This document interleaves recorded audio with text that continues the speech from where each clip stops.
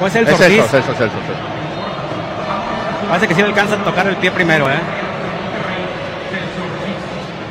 Sí, eh. Sí, sí se alcanza a a darle primero el pie y lo toca la Ahora, pelota. no sé si sea por acumulación de faltas o algo, porque no me parece muy rigorista para Sí, tarjeta amarilla.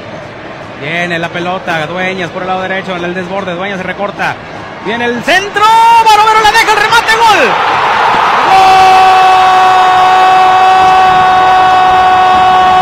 ¡Gol de Tigres! Aprovechando el error de Barovero, llega Celarayán y la mete. Gol de Tigres, patrocinado Tecate, somos fútbol.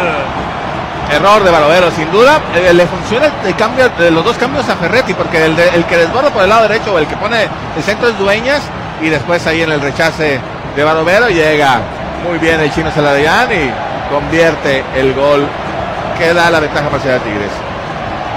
Sí, mal ataca ahí la pelota Barovero. Porque no la toca eh, Pizarro. Eh, Pizarro. Eh, pega en el poste y entra. Sí, por poquito la, la falla. Va a entrar Vincent Janssen.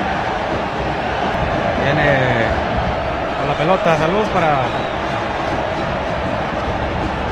para Carlos y ¿Quieres sacarlo? Blanco Durán. Sí, ya, ya lo, ya lo sacaron. Son los que sacaron del estadio ahorita. Ah. que nos van escuchando. Saludos. Centro. El peinado de Guiñacol.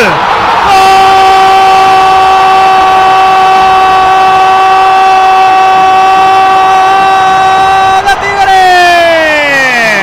¡Gol de Guiñac! El 2 a 0. Gol de Tigres patrocinado por Tecate. Somos fútbol. Octavo gol de Guiñac en clásicos.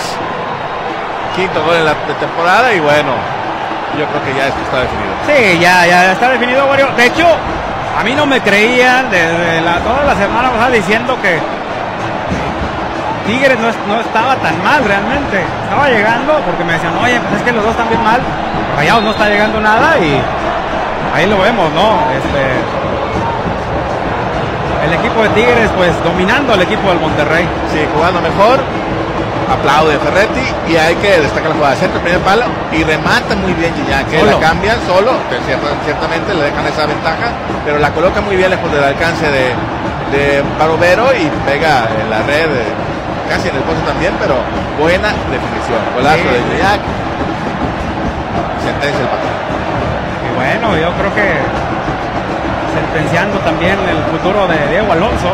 Sí, habría que ver que si no toman alguna decisión la directiva, me parece que, pues bueno, vienen de un, un triunfo y un empate, no sé si, si la molestia de la gente por todo el torneo y el Sí. desempeño futbolístico del equipo hagan que tomen una decisión, eh, pero sí está complicado. Sí, ya la gente abandonando el deseo, por más que nada por la impotencia de ver que no, no genera